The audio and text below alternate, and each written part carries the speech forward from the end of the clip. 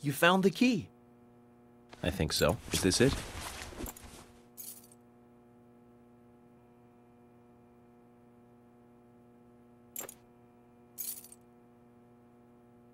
Ah, uh, you don't know your squirrels, do you?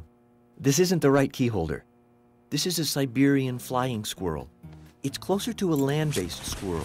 The Siberian flying squirrel is larger than the southern flying squirrel and has a standing tail while the southern has a hanging tail.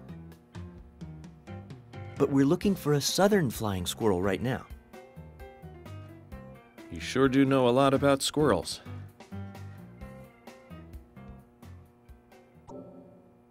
You found the key. I hope so.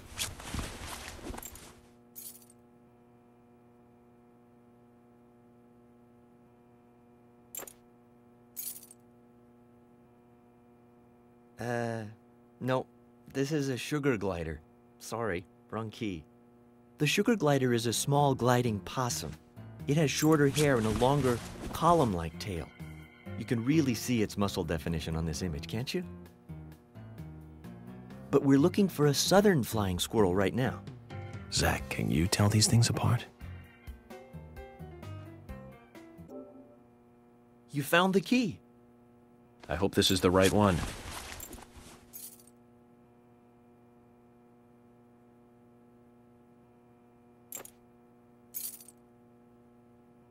Uh, you found a Siberian chipmunk this time, have you? Sorry, wrong key. A Siberian chipmunk? This species lives in northern Japan on the island of Hokkaido. They're actually quite a popular pet. So it isn't even a squirrel. But we're looking for a southern flying squirrel right now. You found the key. Is this the one you were looking for?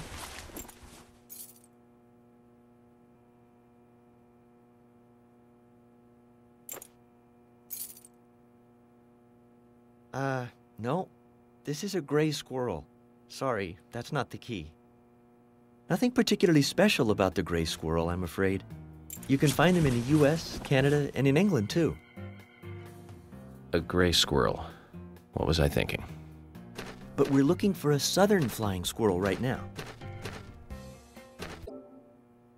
You found the key. That's the right one?